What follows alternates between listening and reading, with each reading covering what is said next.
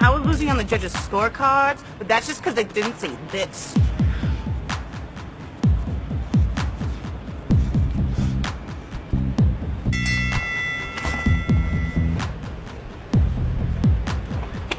You see that girl over there? She wins. She gonna take Glitzy, turn her into bacon. No, no, my pig! Now drink this.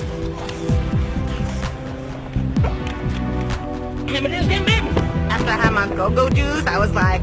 Hurry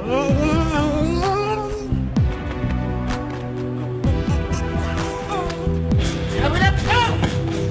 You got a problem with Glitzy, you got a problem with me.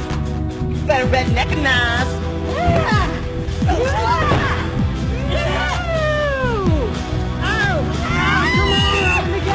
I'm a superstar. Come on, look at for everyone. smells worse than Cyborg's jockstrap.